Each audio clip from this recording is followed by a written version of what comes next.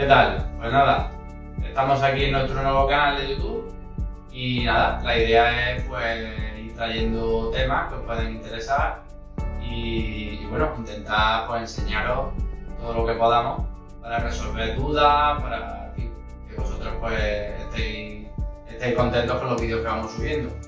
Eh, hoy habíamos pensado hablar del ojo seco, porque el ojo seco hoy en día es un tema muy, muy frecuente eh, por muchas causas. Eh, mala calidad de lágrimas, también puede ser escasez de lágrimas, también puede ser factores externos, como puede ser el aire acondicionado, en Córdoba muy frecuente que lo pongamos, la calefacción, pues todo eso va influyendo.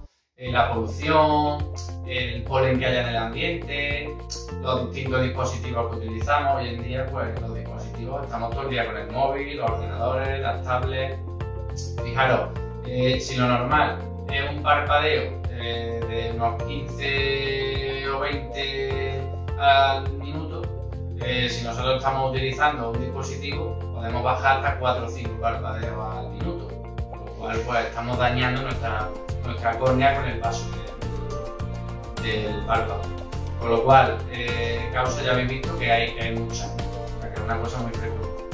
Eh, normalmente más en mujeres, por temas de cambio hormonal, eh, enfermedades autoinmunes y también personas que han sido intervenidas con, de cataratas, que hoy en día pues, también sabéis que es muy frecuente. Llegamos a una edad, 70, 80 años, pues normalmente al final la catarata aparece. ¿Qué síntomas suele tener el seco? Pues normalmente picor ocular, sequedad, fotofobia, eh, enrojecimiento debido a ese párpado al pasar no tenemos lágrimas, ¿no? pues nos va poniendo el ojo más, más colorado. Y ya por último deciros pues tipos de, lágrimas. Tenemos básicamente dos tipos. Eh, unas que vienen derivados de la celulosa, como puede ser eh, la carmelosa. Tengo aquí algún tipo de envase para que para que lo veáis. Este sería el, de carmelosa, ¿vale? Y luego tenemos otros que han salido después que llevan ácido hialurónico, ¿vale?